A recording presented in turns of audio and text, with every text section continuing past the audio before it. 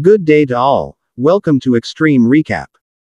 Today, I'm going to tell a captivating story about Mary, a talented young girl whose extraordinary abilities put her at the center of a fierce family conflict. So unwind, subscribe to the channel, and enable subtitles while you relax. Frank Adler gets his niece Mary ready for school at the beginning of the movie. He talks about a special breakfast, but Mary justifies herself by saying that her cat only has one eye. Mary is reassured by Fred Frank that he will be fine at the bus stop. Frank bids Mary Frank's neighbor farewell. Mary's attendance at school concerns Roberta, who visits his house. Roberta's remarks cause Frank anxiety. Mary appears to dislike being at school later on. The class is given straightforward math problems by Bonnie. Mary appears contemptuous because the questions are too simple. Then Bonnie asks who more difficult, particularly multiplication related, questions that become more difficult to answer. Mary gives a correct response after a brief hesitation. The educator. A calculator, and Mary is proven correct. She is taken aback when she realizes Mary is not your typical child. The students in the first grade learn about the principal, Davis. The class approaches her with deference, however, Mary acts nonchalantly and yells at Davis and Bonnie, requesting to summon Forthright and take her. Frank shows up later to pick it up. Bonnie and Mary try to talk to him. She tries to convince him that Mary is unique. Frank explains that Mary uses a technique to answer Bonnie's math questions in class. Bonnie investigates the Jacko technique and is impressed. Mary inquires about taking a test while Frank is working on a boat. Frank mentions that Mary's mother would want her to make friends during their conversation at the beach. Mary shows Fred to her classmates when she brings him to school. She tells them that she found him in the trash and saved him, revealing that he only has one eye. Mary receives additional tasks when Bonnie approaches her. They bond well in class because they recognize her ability. Additionally, Bonnie conducts additional Adler research. She learns that Diane Adler, Frank's sister, excelled in math. Diane ended her own life at 27 years old and left Mary with plain. Frank tells Bonnie about Diane's sudden arrival and the tragedy that followed at a local bar. He is sorry for what happened. Frank responds when Bonnie inquires about other members of the family by revealing that Mary's biological father left her. Her mother was a British woman who was strict and demanding. Mary is riding the bus to school when she notices her classmate entering with an impressive project.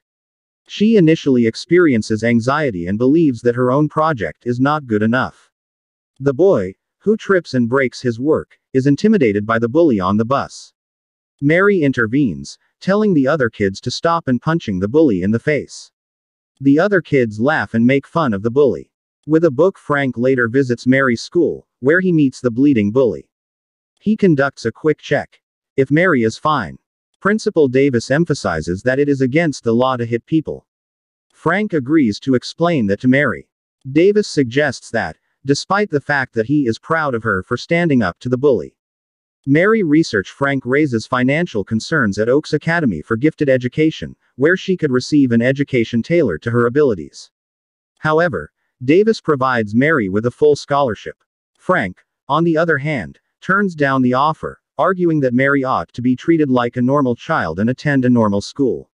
He responds that he is unsure when Bonnie inquires about his decision. Mary apologizes to her cohorts for her way of behaving, and everybody extols Justin, the kid whose zoo project was viewed as the best. Evelyn, Frank and Mary's grandmother, is waiting for them at the door when they get home. Evelyn brings a sophisticated notebook and a Charles Zimmer book on advanced algebra. Mary informs her that she has already read the book and is currently studying differential equations without any interest. She expresses gratitude to Frank for the present. Evelyn yells at Frank for complaining about the conditions in which he lives.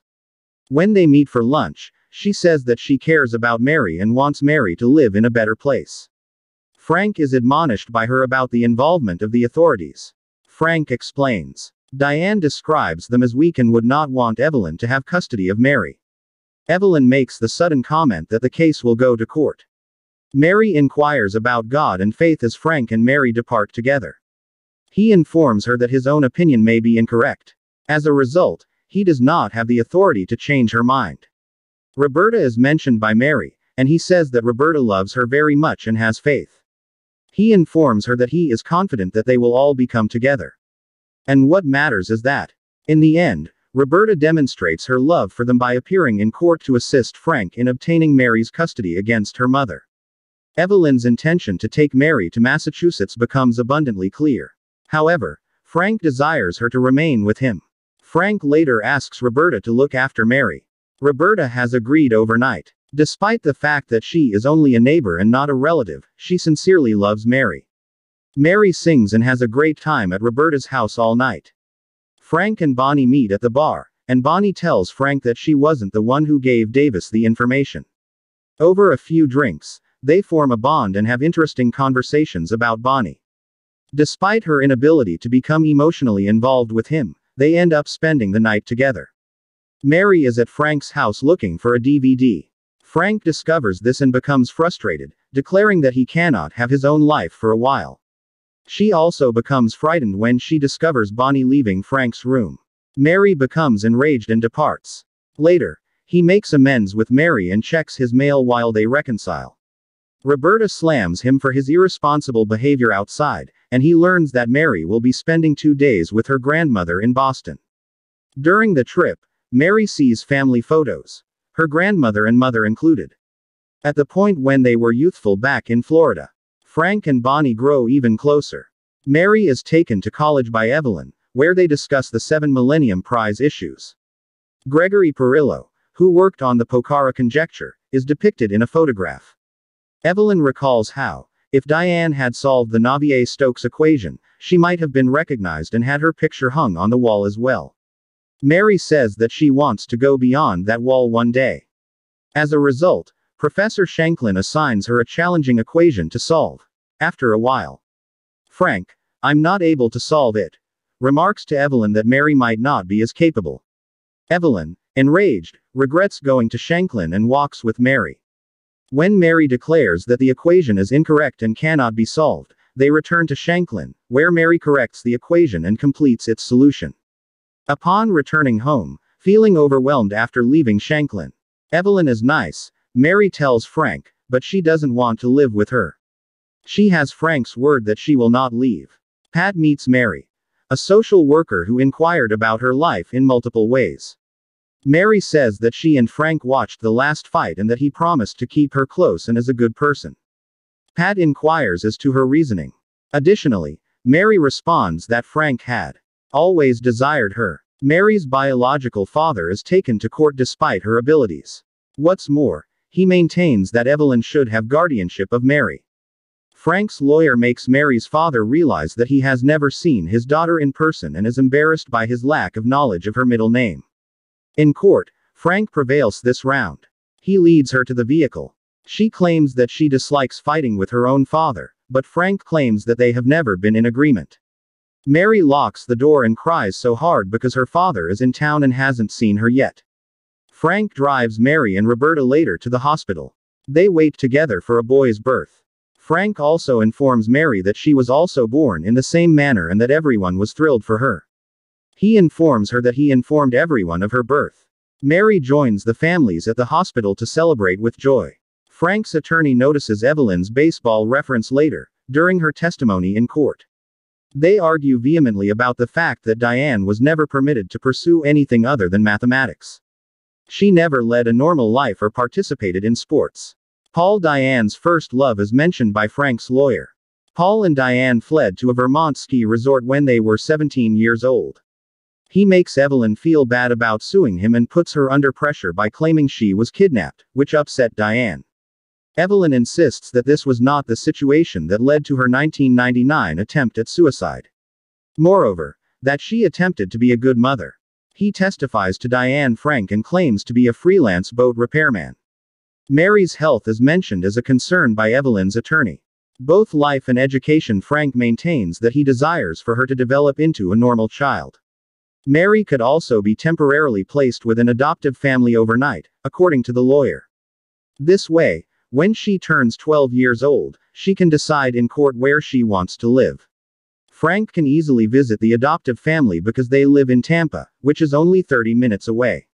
Additionally, Evelyn has visitation rights and feels powerless. He decides to relocate Mary to Tampa. Mary becomes extremely depressed, so she cries and begs Frank not to leave her alone, reminding him of his promise to never leave her. Roberta and Franklin later intended Mary's absence. Bonnie learns from Frank that he had considered several times turning Mary over to child services, but he was unable to let her go. In light of the situation, he feels guilty. He tries to visit Mary, but the adoptive father tells him not to. Dislikes seeing him. Roberta helps Frank through his grief. Bonnie notification a banner for pets up for reception. She sends Fred's picture to Frank, who rushes to the location and manages to rescue Fred and two other cats. Fred was initially offered for adoption by Evelyn. Frank and Roberta rush to Mary to see her and are successful in rescuing her. Frank tells Evelyn that Diane wanted the Navier-Stokes equation to be published after her mother's death when he shows her documents proving Diane actually solved it. This means that Diane's wishes were ignored by Evelyn. Frank and Mary reconcile and are delighted to be back together. Leaving Roberta behind, Evelyn begins to weep as she examines the scribbled, tear-stained notes and sketches. She then contacts MIT. In contacts, Shanklin Mary attends the university and is picked up shortly thereafter by Frank. He hands her a book about existence written by Rene Descartes as they talk in the car.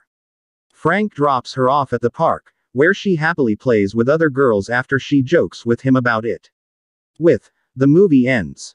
Frank, admiring Bonnie from a distance. Turn on notifications, please subscribe for more videos like this, and like the channel to support it. Thank you very much for watching.